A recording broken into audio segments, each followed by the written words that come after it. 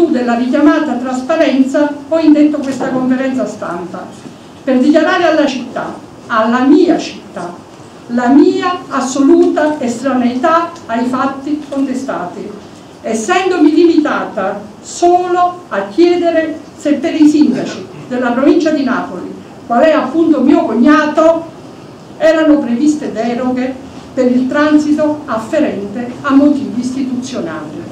Questa è la verità, la pura, sacrosanta verità.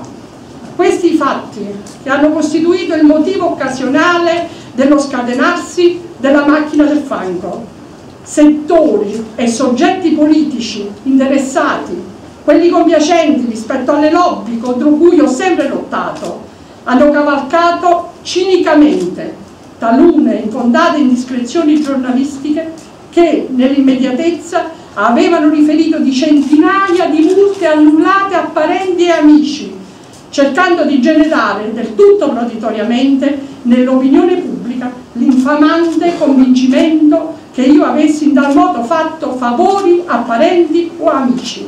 Proprio per il mio rigore, per la mia specchiata moralità, mi sento profondamente offesa dalle accuse vigliacche di coloro conoscono la realtà dei fatti su cui sta indagando la magistratura, alla cui valutazione mi rimetto completamente e nel cui operato ho completamente fiducia. Così l'assessore allo sport Pina Tommasielli, in attesa che il sindaco De Magistris decida se accettare o meno le sue dimissioni, questa mattina nella sala giunta di Palazzo San Giacomo ha voluto parlare ai suoi amici, ai suoi concittadini, a tutti coloro che conoscono la sua rettitudine morale.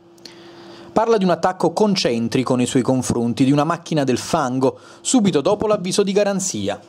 Voglio chiarire alla città, ha detto, la mia assoluta estraneità ai fatti. Un passaggio poi sulle dimissioni, ho rimesso formalmente le mie deleghe al sindaco per essere libera di agire e capire le vere motivazioni che sono a monte di tali improve aggressioni. Non ho mai, afferma la Tommasielli, abusato della mia posizione politica, del mio ruolo per ricavarne un vantaggio. Poi un ricordo all'elezione del 2011, quando finalmente la città di Napoli fu liberata dal movimento arancione.